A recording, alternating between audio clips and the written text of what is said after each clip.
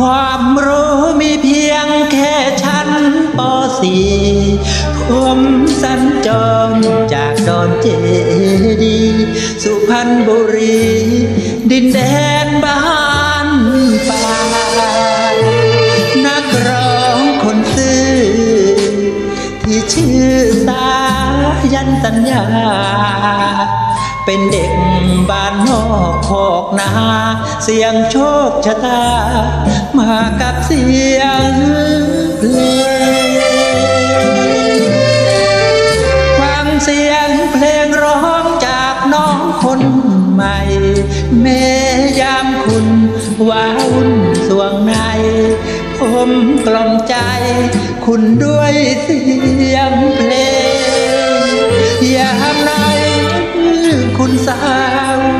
ผมเฝ้าขับร้องบรรเลงขับกล่อมให้หายวังเวง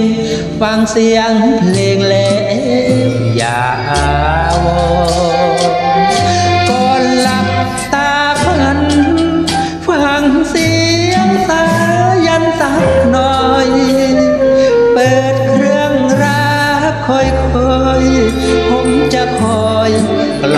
ให้คุณนอนหยิบวิทยุวางไว้ให้ใกล้ใกล้มอ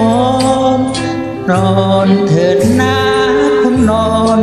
นอนหลับฝันทิ้งสายันสั้น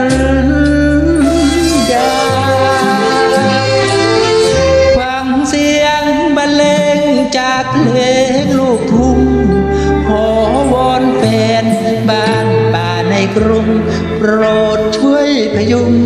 ให้ความเมตตา เพราะความจนยา